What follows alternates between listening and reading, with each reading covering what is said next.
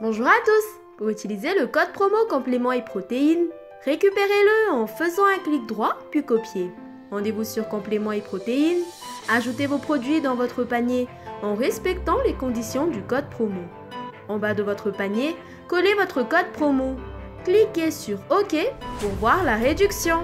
A bientôt sur moindépenser.com